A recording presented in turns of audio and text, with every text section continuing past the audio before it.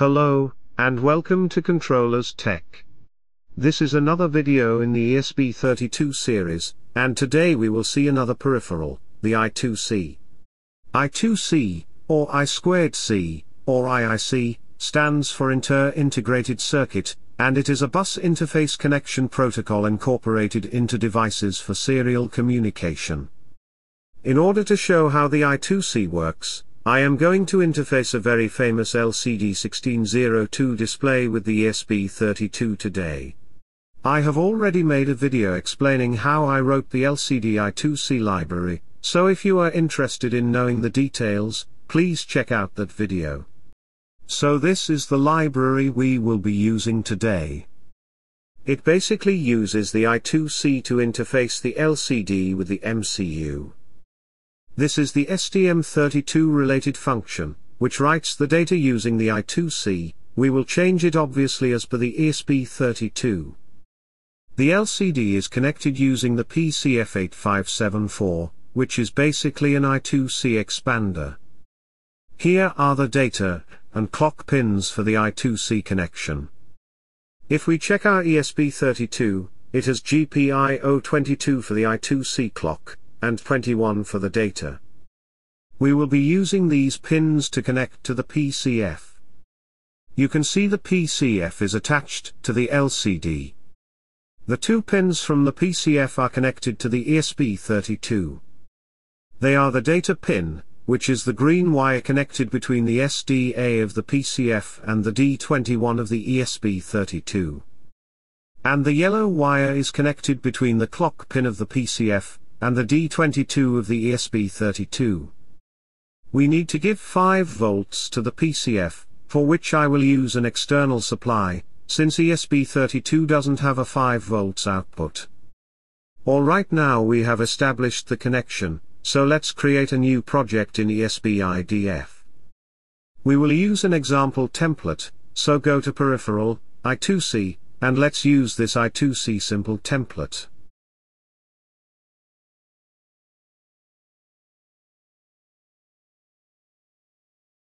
Let's rename this to I2C LCD.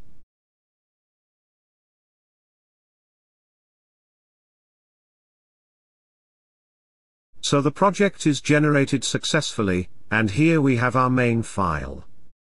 Before we proceed, let's build it once. Make sure you select the correct MCU from here. Alright the build is successful without any errors, and if the main file still shows error, just click at some empty place, and press enter. Since this is an example template, it has some functions configured for the MPU 6050. Let's delete them all. Alright here we have the function to initialize the I2C in master mode. We will edit this function a little, here we have to provide which I2C we are using. Since the board I am using has only one I2C, so this must be the I2C0. Next we have to input the data and clock pins. Here you can see, the data is pin 21, and clock is pin 22. Next parameters sets the pull-up feature for these pins. Since we are not using any external pull-up resistors, Let's keep the internal pull-up enabled. The last parameter is the clock speed. 100 kHz is enough for the LCD to work, you can also set high speed mode with 400 kHz. This basically depends on the device specifications. Alright let's delete these defines from here. In the master initialization function, after defining the parameters, it configures them using the function configure parameters. And finally it will install the I2C driver. This function takes the parameter as the I2C number, which in our case is 0, the I2C mode, which is master, the length of the RX and TX buffers, which is not needed since we are using the master mode, and the buffers are only required in the slave mode. The last is the interrupt flag, which also we are not using today. So the buffer lengths should be set to 0. This will install the I2C driver, and we are good to go with our LCD. Let's delete the MPU related functions in the main. So inside the main function, we are initializing the I2C, and once it has been initialized, we will log the success message. Now let's include the library files. You can just drag and drop them in the main folder. Open the i2c file, so that we can modify it. Remove the I2C handler definition. The slave address for the PCF is 0 cross 4E. The data will be written to the LCD in the similar manner, but we just need to change the function to write data using ESP32. This part will remain similar across whatever controller you use. Now let's see what functions are available in the ESP32 I2C library.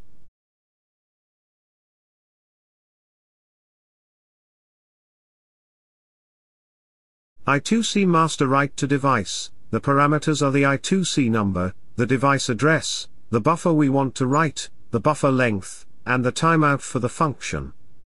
This function should work for us. Also note here that the device address is being shifted to left by one position. This info will be needed later. Alright let's use this function to send the data to the LCD. I am defining the error variable. The first parameter is the I2C number, which is 0 in our case.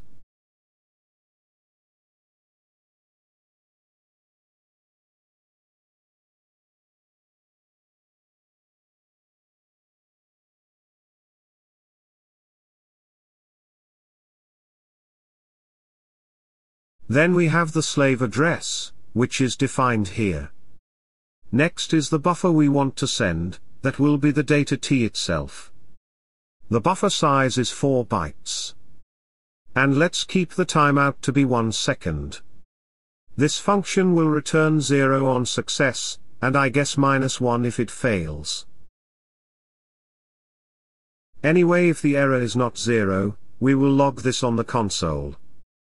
For this, we must define the tag first, as it's defined in the main file. And now we will log using this tag, that there is some problem in sending the command. The same functions will be used to send the data also.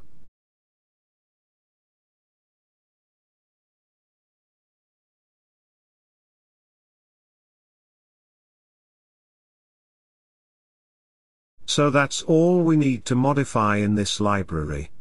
In the LCD header file, remove the STM32 inclusion. Let's build it once.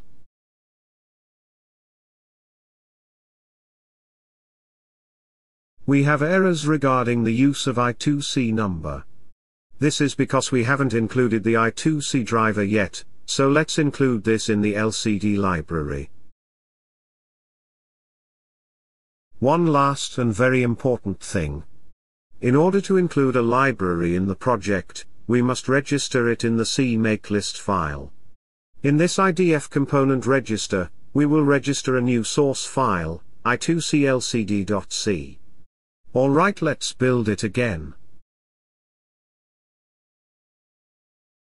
Since we have registered a new source, it's going to build the entire project again. And you can see, the errors regarding the inclusions are gone now. I forgot to change this delay function. HAL delay is used to provide delay in milliseconds, so we need to use an equivalent function here in ESP32. uSleep is used to put the MCU in sleep, but this takes the argument in microseconds. So change all the delays to uSleep, and modify the parameters.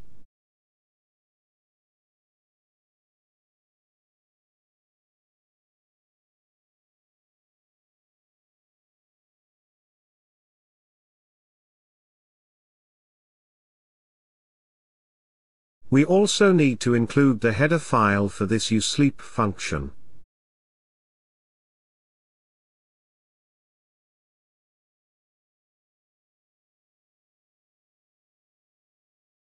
So everything is fine now, and our library is ready to be used with the ESP32. If you are only using ESP32, you can just take this library, include it in the project, and modify the CMakeList file. As I said, I will explain the library in the next video. Now we will use this library to print something on the LCD. In the main file, include the LCD header file. Now in the main function, first we need to initialize the LCD. Remember the I2C must be initialized before we initialize the LCD. LCD put cursor will put the cursor in the zeroth row and zeroth column, which is in the beginning of the top row. We will send the string, hello world, to this position. Then we will put the cursor at the first row and zeroth column, that is in the beginning of the bottom row. And we will print another string there. That's it, let's build the code now.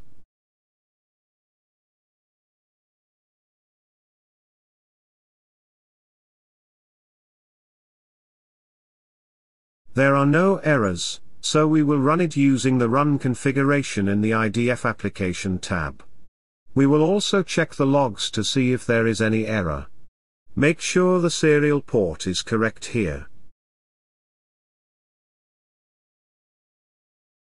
The log is showing errors in sending commands and data to the LCD. Remember we defined them in the I2C LCD source file. Alright the error is because of this address.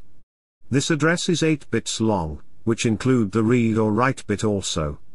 Since the address here is shifted left by one place, means the ESP32 functions also take the 7-bit address just like Arduino. So we will shift this address to the right by one place, making it a 7-bit address. Alright let's build and run the code again.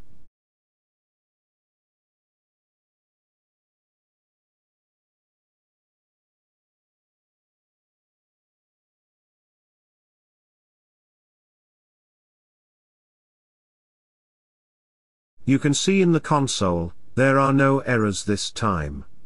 The LCD is displaying our strings, hello world in the top row, and from ESP32 in the bottom row. So things have been working pretty good so far. Remember that the LCD can only print ASCII characters, so if you want to display numbers, you need to change them to respective ASCII characters first. For example, if I want to print any number, first of all I need to define a buffer, where I can store the converted ASCII characters.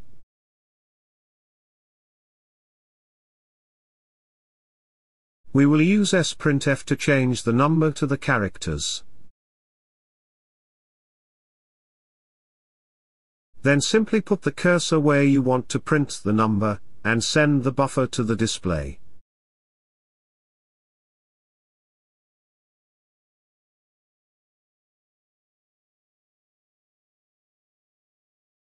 You can see the number is being displayed on the LCD.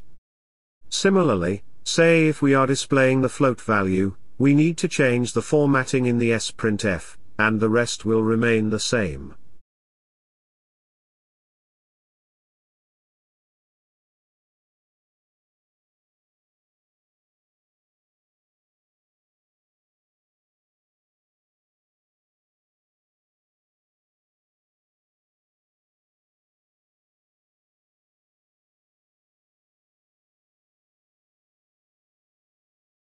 The LCD is displaying the float number as well.